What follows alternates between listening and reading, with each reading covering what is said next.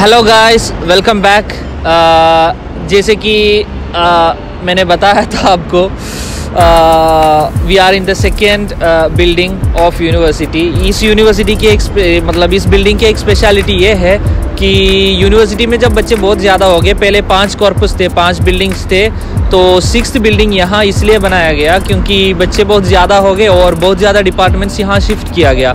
ये आते हैं थोड़ा मतलब पाँच मिनट यूनिवर्सिटी के रास्ते से वहाँ से वो जो छः छः बिल्डिंग्स है, वहाँ से पाँच मिनट के रास्ते में ये पड़ते हैं। छः बिल्डिंग वहाँ आते हैं, एक लाइब्रेरी मिला के छः बिल्डिंग आते हैं। जैसे तो नंबर वाइज ये सेकेंड आते हैं और ये थोड़ा दूर है। ज़्यादा दूर नहीं, पाँच मिनट की रास्ते ये सेकेंड बिल्डिंग कहा जाता है यूनिवर्सिटी के। और इसके अंदर ही मतलब जो भी अभी नया, जो भी किसे कह सकते हैं, जो भी एडवांस टेक्नोलॉजी सब कुछ यहाँ लाया गया है ताकि मतलब कि अभी का अभी के हिसाब से बच्चे पढ़े, इसी वजह से यहाँ सारे एडवांस टेक्नोलॉजीज़ लाया गया है। हम एक बार अंदर जाके यहाँ देखेंगे, यहाँ एक दिन का पूरा वीडियो बन जाएँगे, क्योंकि उतना है देखने लायक है यहाँ। देखते हम क्या क्या है। गाइस हम अभी सेकेंड बिल्डिंग के अंदर आए हुए हैं। मैंने जैसे कहा कि मतलब कि एक पूरे दिन के वीडियो यहाँ हैं। हमें परमिशन मिले हैं जहाँ क्लासेस नहीं चल रहा है। तो एक तो स्टिमुलेशन सेंटर के अंदर। स्टिमुलेशन सेंटर के अंदर दो स्टिमुलेशन मतलब दो फ्लोर में स्टिमुलेशन सेंटर है पूरा। तो एक फ़र्स्ट फ्लोर में हम जा रहे हैं। यहाँ टोमेटोलॉजी डिपार्टमेंट है और गायनाकोलॉजी डिपार्टमेंट है। और हाँ मेनली तो ये दो है। और हम दिखाएँगे अभी आपको क्या क्या है यहाँ। और ये स्टिमुलेशन सेंटर की यूसेस तो मैंने पहले भी बता चुका है कि मतलब कि बच्चे जब आ, एक पेशेंट को देखने से पहले वो क्या क्या सीखना चाहिए, वो सब यहाँ सिखा रहे हैं। जैसे कि नर्सिंग से लेके एक ट्रॉमा पेशेंट ट्रॉमा पेशेंट तो हमें हर बार नहीं मिलते। जैसे कि हर ट्रॉमा पेशेंट अलग अलग होते हैं तो उन्हें कैसे हैंडल करना है? जो भी एंबुलेंस में जाते हैं, जैसे कि एमरजेंसी मेडिसिन में हैं, वो लोग पेशेंट को कैसे शिफ्ट करना है, ये सब हम दिखाएँगे अभी आपको। आप एक बार देख लीजिएगा तो आपको ज़्यादा आइडिया मिल जाएगा। ये जो डम्मी डम्मी कहते जाते हैं, वो किस लिए है, क्यों है, ये आपको हम आज दिखाएँगे। कि ये डमी नहीं है, ये मैनिकिन होते हैं। और ये मैनिकिन मतलब आपको दिखाएँगे मैनिकिन ऐसा है कि मतलब सारा का सारा फ़ंक्शंस होते हैं उसमें, जे, जो इंसान का हो। अभी हम दिखाएँगे, पहले हम ट्रोमेटोलॉजी डिपार्टमेंट से लेंगे। ट्रोमेटोलॉजी डिपार्टमेंट है ये। यहाँ मेनली तो जो भी बर्न पेशेंट्स हो फ्रैक्चर पेशेंट्स हो और उन तरीक़ों के मरीजों को चेक कर मतलब ट्राई करने के लिए है। जैसे कि कोई भी ट्रोमेटोलॉजी पेशेंट आ गया हमारे पास या तो पेशेंट आ गया तो एक डॉक्टर क्या करना है? वो पहले यहाँ से सिखाते हैं उसके बाद वहाँ जा सकते हैं हम। जैसे कि पहले यहाँ इसमें ट्रीट करो इसमें क्या करना है कैसे करना है ये सब संभाल लो। उसके बाद क्या होता है मतलब जब पेशेंट मिले तो हमें पता चल जाता है हमारे पास एक एक्सपीरियंस वे होता है कैसे ट्रीट करना है क्या करना है। और यहाँ आप देख रहे अ, नीचे लेटा हुआ है ये किस लिए लेटा हुआ है? इसीलिए क्योंकि अ, एक आदमी कोई लेटा हुआ है और उसका बर्न हो बर्न हुआ है या फ्रैक्चर हुआ है या कुछ भी हो तो उन्हें पहले ट्रीट करना होता है फिर उसे कैसे उठाना होता है एक स्ट्रक्चर में बिठा के लेके जाना होता है इसीलिए तो कैसे उठाना होता है ये सब यहाँ सिखाता है। तो आपका एक शक होगा कि मतलब स्ट्रक्चर कहाँ है? यहाँ स्ट्रक्चर भी पड़ा है। ये देखो। इसी स्ट्रक्चर में कैसे लिखाना होता है हेड कैसे स्टेबल करना होता है ये सब है। और यहाँ देख लो आप हेड स्टेबलाइजेशन के लिए सारा मटेरियल्स प्रोवाइडेड है यहाँ बच्चे कैसे मतलब एक एक हर एक चीज़ बच्चे यहाँ इनसे सीखे उसके बाद बच्चे कहीं भी अप्लाई करने के लिए कोई डर नहीं रहेंगे। आ, बल्कि हम एक हॉस्पिटल में गए और एक पहली बार डॉक्टर एक पेशेंट को ऐसे दिख रहा है तो उसने जो पढ़ा होगा वो कहाँ अप्लाई किया है? कहीं अप्लाई नहीं किया होगा।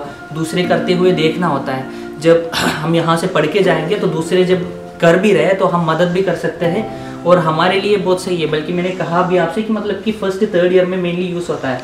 ये देखो, ये अभी फ्रैक्चर जिसका भी हाथ या कुछ फ्रैक्चर हुआ तो उसमें सपोर्ट करने के लिए जो लगाया जाता है। और सारी की सारी चीज़ें हैं यहाँ जो मतलब ट्रॉमा डिपार्टमेंट में जो भी जो भी केसेस आए, सबके लिए है, सब कुछ। ये बच्चों के लिए, ये जो सीपीआर वगैरह देने के लिए रखते हैं और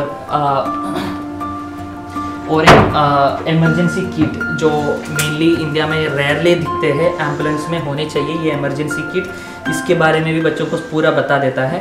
और मतलब ऑल टोटल ट्रॉमा के कोई भी पेशेंट्स आए तो उनके लिए जो भी चीज़ें मतलब ज़रूरी है, वो सब यहाँ है।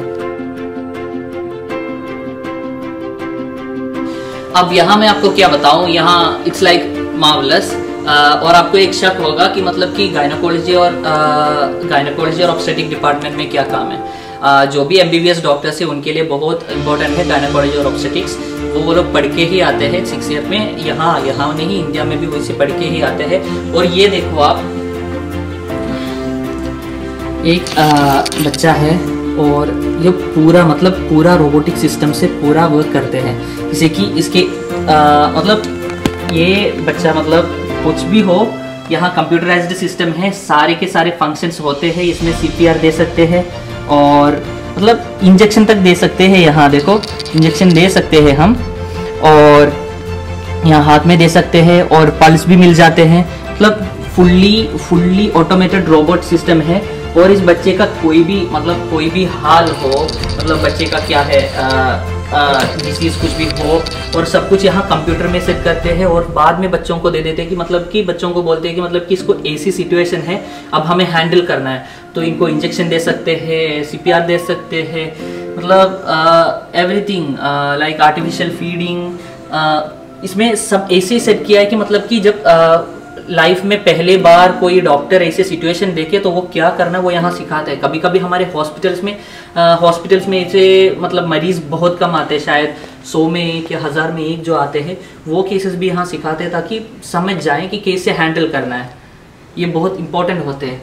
और ये भी वही सिस्टम है, लेकिन यहाँ की स्पेशलिटी ये है कि वो प्रीमेच्योर बेबी है और ये मेच्योर बेबी है। मेच्योर बेबी जब आते हैं तो क्या करना है, ये सब यहाँ अलग से बता रहे हैं। और यहाँ और भी और भी एनाटमीज और सब कुछ बता रहा है कि एक एक बच्चे का मतलब एक बच्चे का डिलीवरी के टाइम में क्या क्या कौन कौन सी पोजीशन में होते हैं, ये इसीलिए बता रहा है कि मतलब हम समझ जाएँ कि बच्चे कैसे लेट रहे पेट में और मतलब किस पोजीशन में है, ये सब हमें समझना चाहिए एज अ डॉक्टर सो इसी वजह से बता रहे हैं। और ये जो मैनिकिन है फुल्ली ये भी फुल्ली ऑटोमेटेड है और ये आँखें भी बंद कर रही है। देखो, आप देख सकते हो, ये सांस ले रही है। मतलब फुल्ली ऑटोमेटिक है और पेट में बेबी भी है। और यहाँ ऐसा है कि मतलब कि आप देख सकते हो यहाँ पीछे भी मतलब सारे कार्डियोग्राम के और पल्स हार्ट रेट सब कुछ यहाँ दिया हुआ है। और यहाँ टीचर इस साइड में टीचर आके सेट करते हैं कि मतलब कि इसको कैसी तरह की, किस तरह की डिलीवरी होने वाली है इसकी। तो कि इसके हार्ट बीट कम हो गया, ना तो ये डिलीवरी के बाद माँ मर गया। ऐसे सिचुएशन क्रिएट करके दे देते ताकि बच्चे ज़्यादा एफिशिएंट हो जाएँ उनके काम में। ताकि बच्चे ज़्यादा समझ जाएँ कि कैसे करना होता है, क्या है। यदि एक अचानक एक्सीडेंटल सिचुएशन आ गया तो। इसके एक और बात बताता हूँ, पेट के अंदर जो मतलब बच्चे हैं, उनके भी सारा का सारा यहाँ कंप्यूटर में सेट कर सकते हैं और उस हिसाब से हम आगे मतलब चला सकते हैं। ऐसा है, इस हिसाब से। जैसे कि हम अभी ये देखो मैंने अभी आँखें बंद किया। सिर्फ़ हाथ से बंद किया, उन्होंने बंद करके रखते ये। ऐसा है।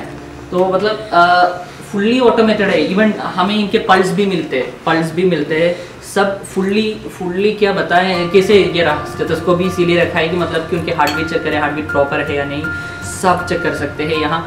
चाहे तो इन्हें कार्डिया करस भी करा सकते हैं प्रेगनेंसी के टाइम पे हेलो तो उतना